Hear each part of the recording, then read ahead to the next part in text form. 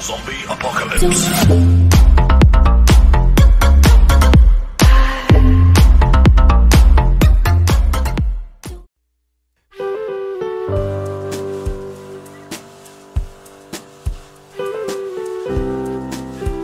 This is the Dinoka bird feeder. It's coral proof. So when they jump on here, these little leaves,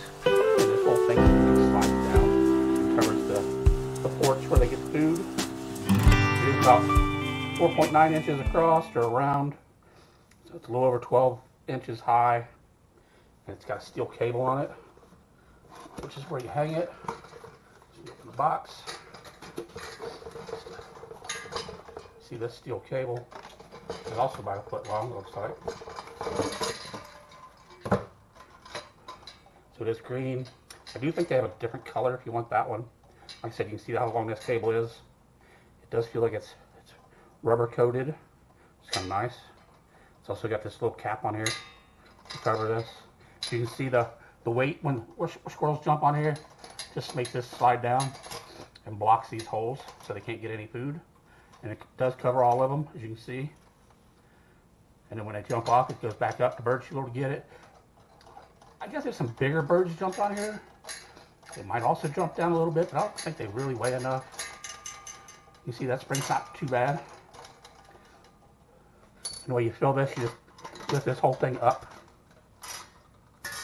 And then you take this spring out of here, and it opens it up here. So you just build a dump your food in there. It should be pretty simple, pretty easy.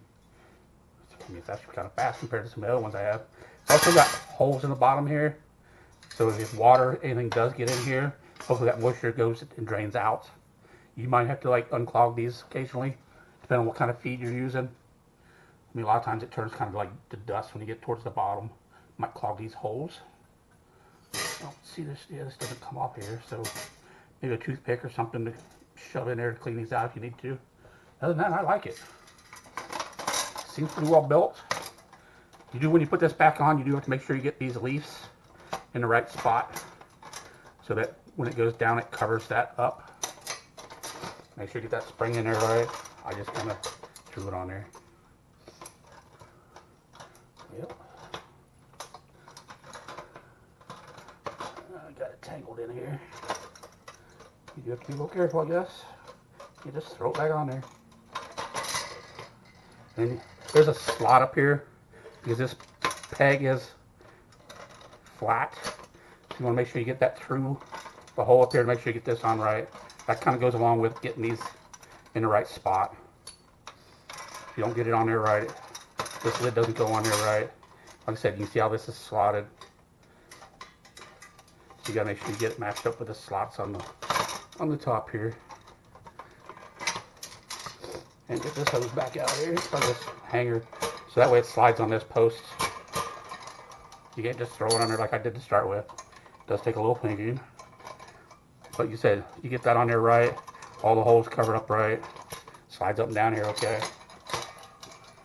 I like it you should get it like I said this is pretty easy to fill up so just lift this up dump it in there I use a little Dixie cup but I do have a scoop you could use too Mine's a little bigger than this. It fills up really quick, but you gotta have it over the can where the food is. So it overflows or spills off the sides, you don't lose it. Pretty simple, pretty easy. Does hold about two pounds of bird seed, they said. You see I do have a little bigger stuff in here, some sunflower seeds for the bigger birds. But it should stop the squirrels from getting in there. Like I said I'm liking this so far. Goes down pretty easy. I do have it filled all the way up so it doesn't get in the way of the spring. Works perfect. Like it.